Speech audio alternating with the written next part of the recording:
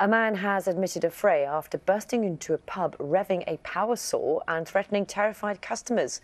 Um, we can look at the footage here. You can see um, Andrew Dickon ran into the Bull's Head in Sale in Greater Manchester in the early hours of Saturday morning. Oh my goodness. Um, he's going to be sentenced at a Manchester Crown Court next month.